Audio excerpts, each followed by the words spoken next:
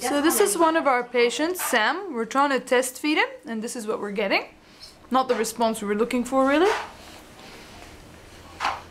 Are you that disgusted? And he sniffs it.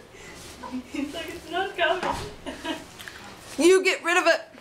Oh look, look, look! He's gonna eat it. There. He doesn't to near it because he thinks you're gonna eat it.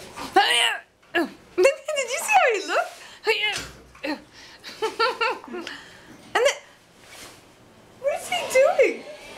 He doesn't want anyone else to have it on. You Can eat I that have it? chicken. It's Can good I have your chicken? Can I have it? Come on, eat your chicken.